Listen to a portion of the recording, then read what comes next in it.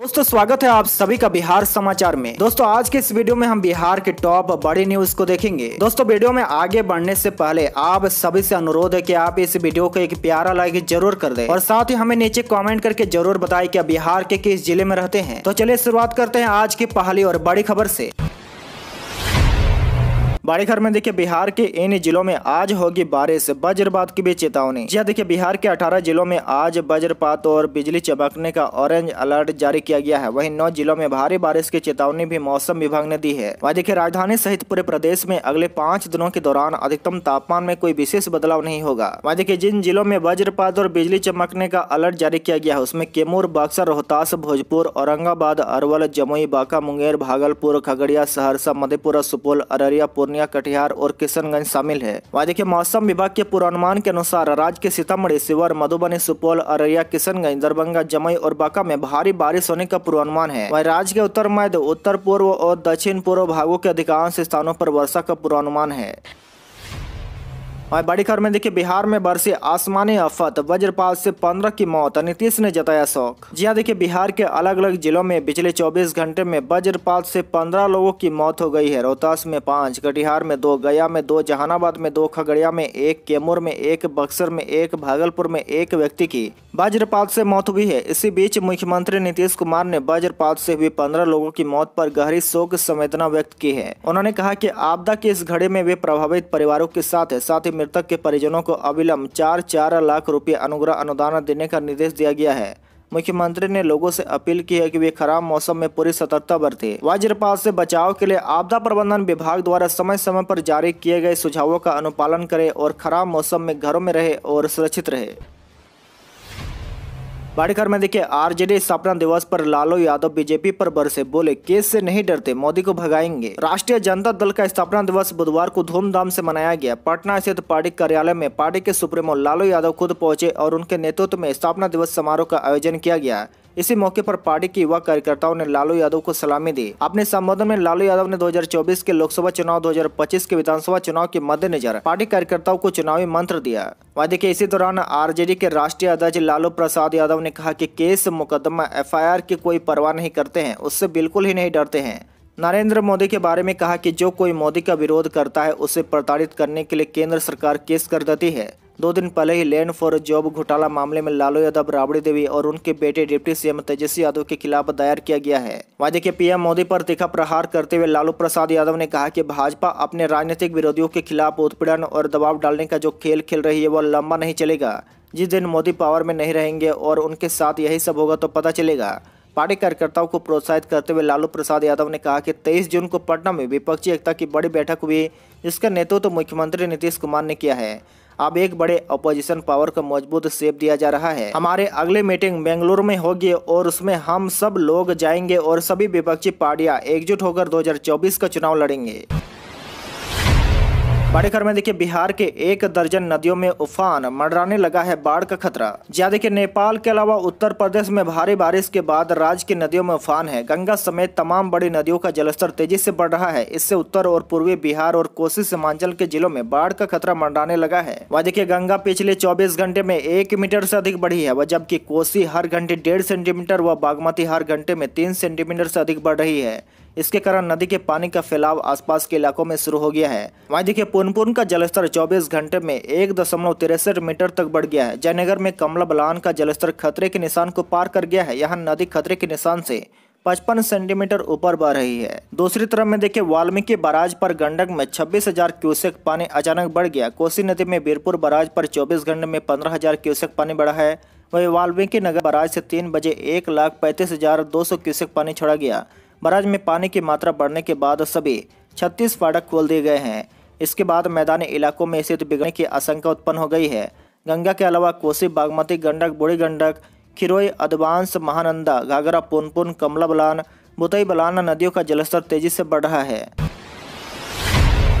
बड़ी खबर में देखिए बिहार में बिना डिप्लोमा वाले अभ्यर्थी भी कर सकेंगे आवेदन। जी हाँ, देखिए बिहार तकनीकी सेवा आयोग पंद्रह सौ उनचालीस फार्मासिस्ट पदों की बहाली करने जा रहा है। इसके लिए छह जुलाई से 21 जुलाई तक आवेदन भरने के लिए पोर्टल खोला जा रहा है। यह आवेदन बी फार्मा और एम फार्मा अभ्यर्थी तथा बिना रजिस्ट्रेशन वाले अभ्यर्थी के लिए उच्च न्यायालय के आदेश के बाद लिया जा रहा है।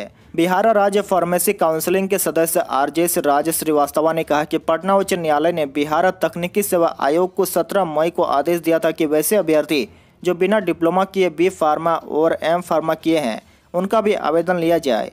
न्यायालय के आदेश के बाद आयोग ऑनलाइन पोर्टल खोल रहा है। फार्मेसी काउंसिलिंग ऑफ़ इंडिया के नियम अनुसार फार्मासिस्ट पद पर बी फार्मा, डी फार्मा और फॉर्म डी सभी योग्य होते हैं। फार्मासिस्ट पद पर फार्मेसी ग्रेजुएट को लेने से मरीजों को ड्रग रिएक्शन एवं भंडारण की गुणवत्ता में सुधार होगा। बड़ी खबर में देखिए, बिहार में पहली बार मौसम केंद्रों से मिट्टी में नमी की जानकारी मिलेगी। जी देखिए, प्रदेश में पहली बार मौसमी केंद्रों से मिट्टी की नमी की जानकारी मिलेगी। इसके लिए तमाम मौसम केंद्रों में मिट्टी नमी सेंसर लगाए जाएँगे। राज्य सरकार इस योजना पर सहमति दे दी है। पहले चरण में सूबे के दस प्रखंडों का चयन किया गया है। यहाँ प्रयोग सफल होने के बाद चरणबद्ध तरीके से इस सूबे के पंद्रह प्रखंडों में लागू किया जाएगा। सरकार की योजना है कि एक वर्ष के अंदर इसे पूरे प्रदेश में हर हाल में क्रियान्वित कर दिया जाए। इस कदम से किसानों को इसका सीधा लाभ होगा। राज्य सरकार का मानना है कि इस योजना से किसानों को लाभ होगा। जिन प्रखंडों का चयन किया गया है, उनमें औरंगाबाद, बांका, बक्सर, जहानाबाद, जमुई, किशनगंज, सिवर, सिवान, मधुबनी के राजनगर और कैमूर के बहुआ शामिल है। बड़ी खबर में देखिए पप्पू यादव करेंगे एनएच चक्का जाम और रेल चक्का पाड़ी। बोले डोमिसाले नीति बिहारी बाबू का अपमान। जी देखिए, जन अधिकार पार्टी के द्वारा शिक्षक नियुक्ति में डोमिसाले नीति को लागू करने के लिए पटना के गर्दनी बाग में महाधरना का आयोजन किया गया है। इसी दौरान पार्टी के राष्ट्रीय अध्यक्ष पप्पू यादव ने कहा कि डोमिसाइल नीति को हटाना बिहार के युवाओं के साथ विश्वासघात है। उन्होंने आगे कहा कि इससे बिहार के युवाओं के लिए अवसर की कमी हो जाएगी। यह बिहारी युवाओं का अपमान है। यह बिहार सरकार का एक आत्माघाती कदम है। पप्पू यादव ने कहा की सरकार के गलत नीतियों के कारण युवाओं का पलायन हो रहा है। जाप का एक एक कार्यकर्ता डोमिसाइल नीति लागू करने हेतु गाँव गाँव जाकर आंदोलन करेगा। उन्होंने कहा की युवाओं को रोज़गार नहीं मिलने को लेकर नौ जुलाई को एनएच चक्का जाम और सोलह जुलाई को रेल चक्का पाड़ी कार्यकर्ता करेंगे। बड़ी खबर में देखिए, श्रावणी मेले के दौरान डीजे बजाने पर लगा प्रतिबंध। कांवरिया पद को लेकर थानों को मिले ये सख्त निर्देश। श्रावणी माह के दौरान कांवरिया पदों पर विशेष निगरानी की व्यवस्था की गई है। ज़िले के तमाम कांवरिया पदों पर सुरक्षा के साथ साथ अन्य ज़रूरी बातों को लेकर जिला प्रशासन ने स्थानीय थानों को विशेष निर्देश दिए हैं। जिला प्रशासन ने श्रावणी मेले के दौरान कहीं भी डीजे बजाने पर पूर्ण रूप से प्रतिबंध लगा दिया है। स्थानीय थानों को यह सख्त निर्देश दिया गया है कि अगर कांवरिया पद पर कोई डीजे बजाता हुआ पाया जाए तो उस पर तत्काल कड़ी कार्रवाई की जाए। बड़ी खबर में देखिए, शिक्षा विभाग में आर पार की लड़ाई। मंत्री चंद्रशेखर आप्त सचिव डॉक्टर के एन यादव को विभाग में एंट्री पर रोक। जी देखिए, बिहार सरकार में मंत्री और अफसर के बीच तानातानी है। इसमें बलि का बकरा मंत्री के आप्त सचिव डॉक्टर के एन यादव बने हैं। इन्हें शिक्षा विभाग में एंट्री पर रोक लगा दी गई है। इनकी सेवा भी खत्म कर दी गई है। कई गंभीर आरोप भी लगाए गए हैं। उनसे डॉक्टर की उपाधि लगाने का सबूत भी मांगा गया है।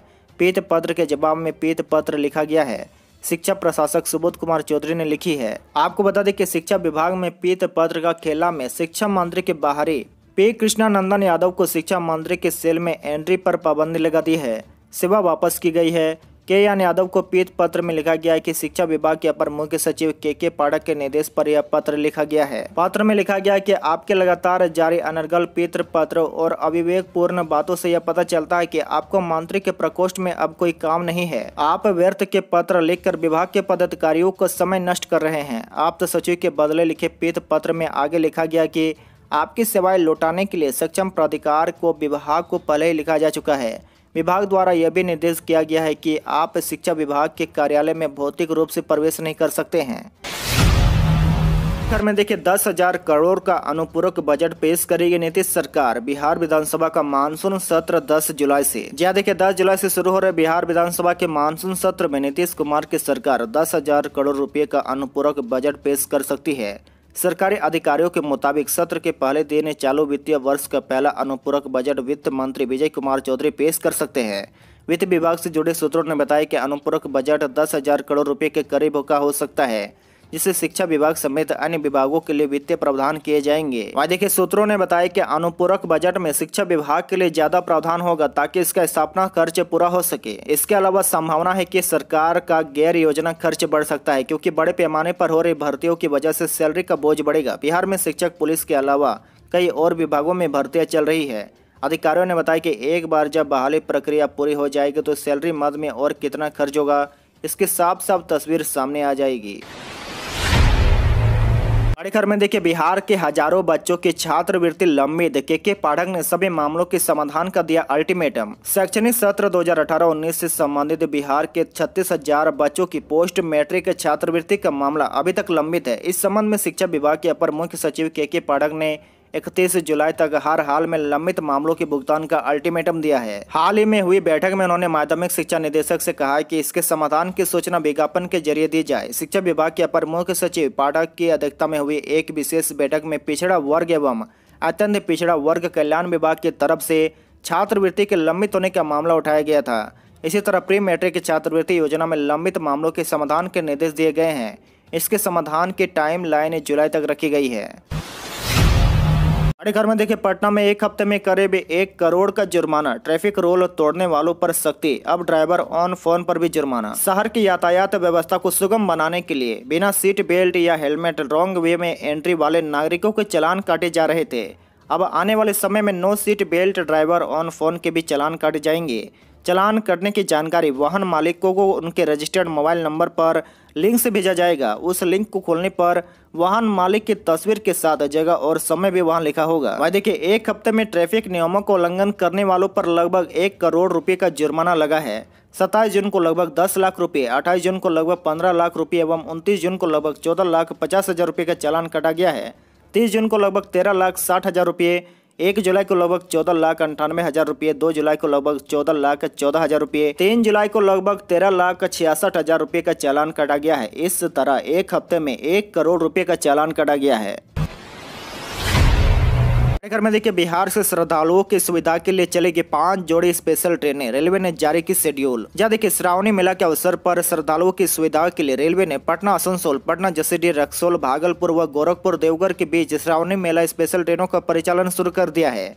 इसके अलावा सुल्तानगंज स्टेशन पर पाँच जोड़े ट्रेनों का दो मिनट का ठहराव भी दिया गया है। बता दें कि ज़ीरो तीन पाँच ग्यारह, आसनसोल, पटना, तीन जुलाई से तीस अगस्त तक सोमवार व बुधवार को आसनसोल से साढ़े चार बजे खुलकर ग्यारह पचपन में जब पटना में पहुंचेगी वापसी में यह ट्रेन पटना आसनसोल चार जुलाई से इकतीस अगस्त तक मंगलवार और गुरुवार को पटना से एक पंद्रह बजे खुलकर अगले दिन साढ़े आठ बजे आसनसोल पहुंचेगी। वहीं दूसरी ट्रेन ज़ीरो तीन छः सौ अंठानबे गया जसीडी पाँच जुलाई से इकतीस अगस्त तक प्रतिदिन गया से आठ बजकर पचपन बजे खुलकर ग्यारह पैतालीस में पटना पहुंचेगी और पटना से ग्यारह पचपन में खुलकर अगले दिन पाँच पैंतालीस बजे जसीडी पहुंचेगी। देखिए, ज़ीरो पाँच पाँच सौ आठ रक्सोल भागलपुर प्रतिदिन रक्सोल से पाँच पंद्रह में खुलेगी और दूसरे दिन दो बजकर तीस मिनट में भागलपुर पहुंचेगी वहीं भागलपुर रक्सल प्रतिदिन भागलपुर से साढ़े चार बजे खुलकर अगले दिन तीन पंद्रह में रक्सल पहुंचेगी अधिक दानापुर और साहेबगंज दोनों तरफ़ से 9 जुलाई से 27 अगस्त तक प्रत्येक रविवार को गाड़ी संख्या ज़ीरो तीन, दो सौ छत्तीस और ज़ीरो तीन, दो सौ पैंतीस दानापुर, साहेबगंज, दानापुर इंटरसिटी एक्सप्रेस के समय एवं ठहराव के अनुसार चलेगी